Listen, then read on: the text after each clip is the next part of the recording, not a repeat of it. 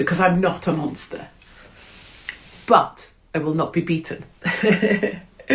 we will not be beaten. And Katie Hopkins has broken down over her disgusting cancellation by the Church of England, which has refused her performance at one of their venues. This is for her major new stand up show, even though this same venue has hosted previously political events by the Extinction Rebellion crazies and drag queens. But for Katie, this was absolutely devastating given that she had sold 500 tickets to the event. And when she was trying to come to an arrangement with this particular organization connected to the Church of England, they very much upset her. And you know, Katie is obviously usually seen in public as someone who has a tough exterior and has coped with cancellation, I think, much better than many people could. Because let me tell you, I, I know a lot about this. It takes a massive psychological toll. This one really got to her and she broke down. Watch. And they came back with, for the avoidance of doubt, these purported losses are vague, unsubstantiated, and embarrassing. And that's the bit that's really got me. Is that even when I said, all right, you know, I don't mind, or I do mind, but I don't mind, I. you've cancelled me. Could we refund people's travel and time and hotel and things?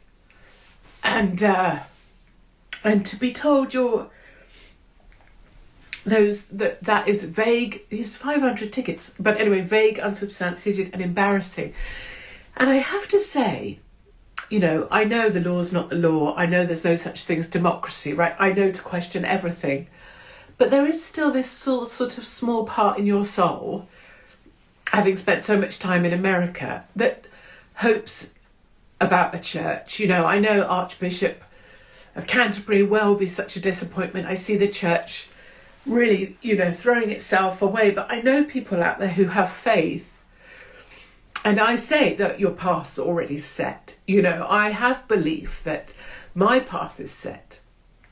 And now I have to believe that the church, in particular represented by here, has nothing to do with my kind of faith that you're. And Father Calvin Robinson, as a disappointed member of the Church of England. How do you feel about that? It's gutting, isn't it? It's clearly an agenda, an ideological agenda. This is the problem with the Church of England. It's so left wing, so liberal they can't see past its own nose and see the fact that faithful masses may be meeting, or even just friendly people may be meeting in the church that don't happen to be left wing. Why make a deal with Katie Hopkins in the first place? You know who she is, you know what she stands for. She's very good at what she does but let her do her job. Don't cancel on her last minute and then refuse to help out with funding all the people that are supposed to be traveling down to see the event. But the way they treated her is like she's less than a human being.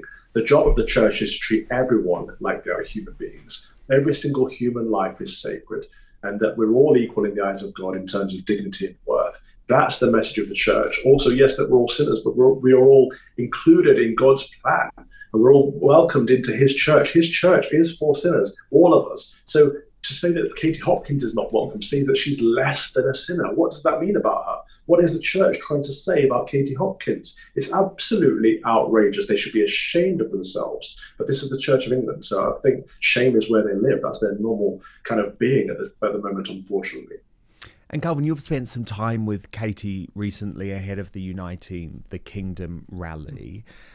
Do you feel like her cancellation was unfair? And is there a chance for her to return to public life? Because it's so disturbing calvin the way that she was debanked well before farage. You know she owns nothing. I mean we can't accept can we someone being treated in this way not at all. We shouldn't accept it if we want a fair and equitable society. If we want equal opportunities for all, if we want a meritocracy where anyone can achieve as long as they work hard, get their head down and focus, then that's the world we should be aiming for. Then people like Katie Hopkins should have a chance. But to say, no, you're beyond the pale because you're a comedian that makes jokes that we see are no, not fit for purpose, that is tyranny of the worst sort. That's tyranny of the mind. That's saying you must think like we think, otherwise you are not welcome in civilized society. You know, to debank someone means you're not able to contribute to you're not able to make a living or provide for your family. It's dangerous. It's actually absolutely dangerous. It's the kind of things that the Stasi would do.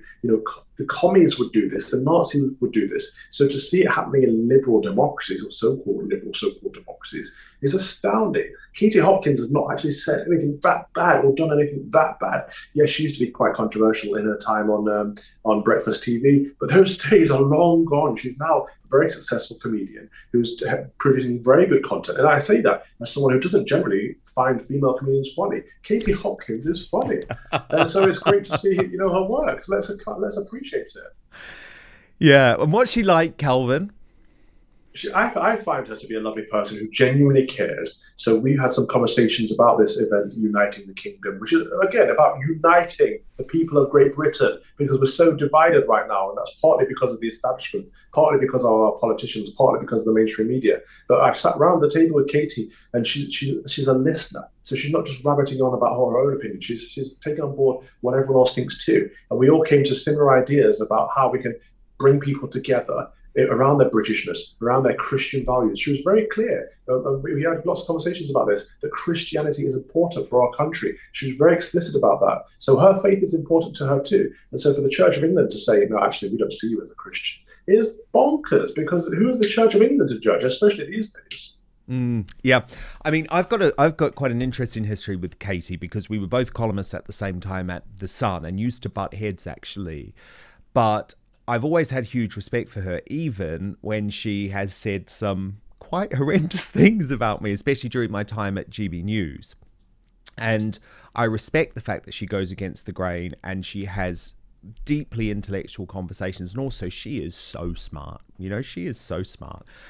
And what I found absolutely fascinating about this deeply personal address to her followers is it was the first time really in a long time that she has expressed the really real personal side of what it's like to be cancelled and there's a really key line here. I, I mean, it's it's quite a lengthy clip, but it's worth us both watching along, Calvin, where she says, "I'm not a monster, and I will not be beaten." Watch.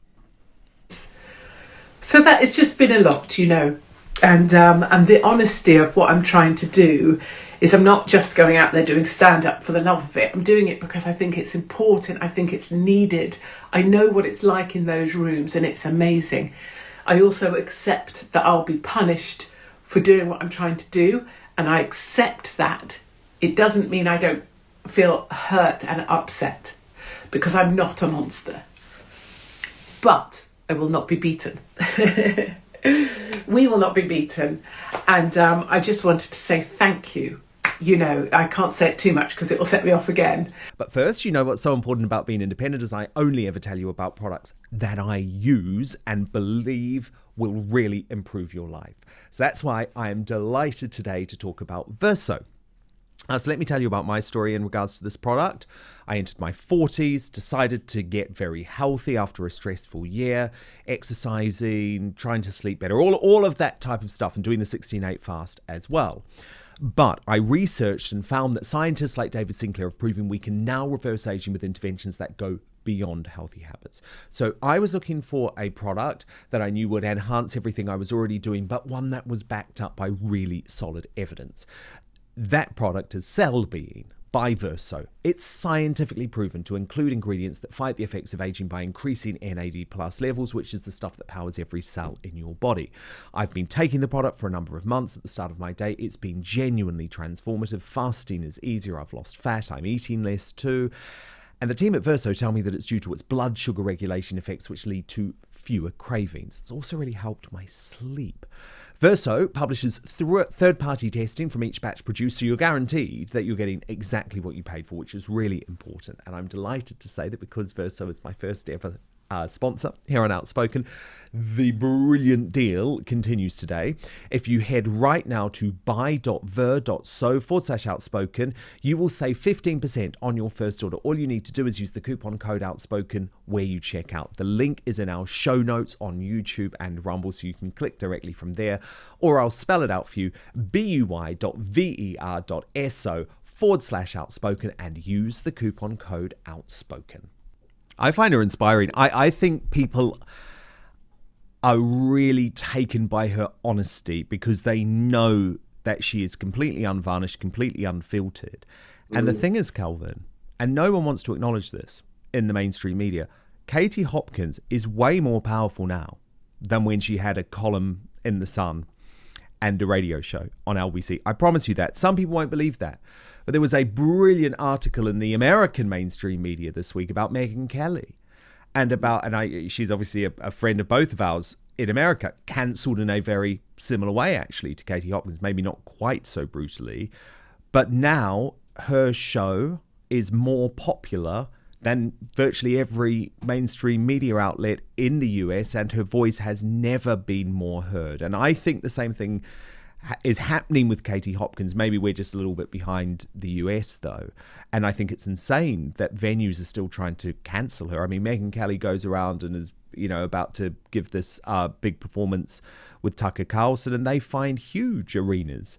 So, you know, I, I think there's hope. I, I guess that's what I'm saying. I think there's hope. I think Katie Hopkins is sort of uncancelled now, uh, but clearly not when it comes to the establishment the thing is, what what the left often forgets is that we're all human beings, right? Even you know that, that idiot that threw whatever he threw at Nigel Farage, they just see us as the enemy. They see us as an opponent. They don't see us as human beings. Katie Hopkins, yeah, she may be tough, she may have been cancelled a hundred times, but this time it got to her because she's a person with feelings. If the left could only see people who don't think like them as equal to them in terms of dignity and wealth, if they uh, uh, dignity and worth, if they could just see us as human beings and people with emotions, with cares, with loves, then, we'd all be in a much better place. But the left do not seem to be able to do that because they can only see their own worldview, they can only see their own perspective, their own bubble.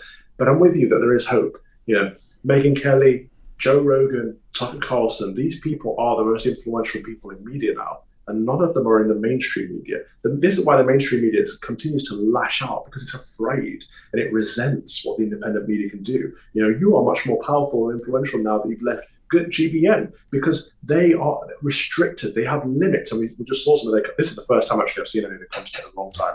That show with Patrick Christys was not a good show. There was no pushback, just a lot of nodding. But that's what he does. Anyway, the yeah, because he doesn't want to get not... in trouble because he saw what happened to afraid. me. Absolutely. And, and, and, that's the problem. And they are completely controlled by the off communists. And what's really interesting, Calvin, I was very uh, taken. I think we've got it actually by one of your uh, posts on X about what's actually happening in terms of the censorship state. And you made the point they go after X and Elon Musk, they arrest the CEO of Telegram, yet they go quiet when Meta, Facebook, Instagram is found to be enabling child sex abuse and trafficking. The establishment hunts down free speech advocates but turns a blind eye to pedos. And clearly, that's a very dramatic way to put it, but it's so hard to disagree with that when you see the way that there is lawfare now going on against both X and Telegram, and that's simply because the authorities do not control it, specifically the American authorities. 100%. I'm not a free speech absolutist. Though I believe in free speech for the purposes of spreading the truth. What I want to see clamped down upon on social media is all of this child grooming, is all this child pornography, this pedophilia that is rampant, especially on Meta, that keeps getting reported, you know, on Instagram and Facebook. I want to see a clamp down upon the people who actually incite violence. I want to see actual criminals, violent thugs, rapists, sex offenders, pedophiles locked up and or deported if not hanged. I want to see severe punishments for the bad guys. What I want to see at the same time is a free space for people to discuss ideas, whether they disagree with each other, whether they offend each other or not. That would be fantastic. X provides that. Telegram has been providing that. And this is why those two platforms are being clamped down upon because the people in charge cannot or will not, for whatever reason, address violent crime, sex abuse, and or pedophilia we can all allude to or speculate to why that might be, but I think a lot of it comes down to incompetence. Let's get back to facing real crime, get tough on crime, and, and stop locking down people for hurting words on Facebook and retweeting misinformation on Twitter. For goodness sake, let's get some common sense back in the room. Absolutely, absolutely. And let's stop deplatforming people like Katie Hopkins, although actually all you're doing is making her more popular and making the people who follow her more angry than ever. Father Calvin Robinson, my goodness, we've covered it all today. Thank you so much, Calvin, and we will speak next week. God bless you, Dan. See you soon. Are you back in the UK, by the way? I am. I'm still in political exile, but I'm not telling people where I am. I managed to make it over the border without. Okay, sorry, sorry. I've blown your cover. I'm blowing your cover, Calvin. Thank, thank you so much. We'll speak next week. Thank you so much for watching Dan Wootton Outspoken. Please do subscribe if you want lots more clips and interviews like that. Plus, if you want to watch our totally uncensored after show, then visit www.outspoken.live.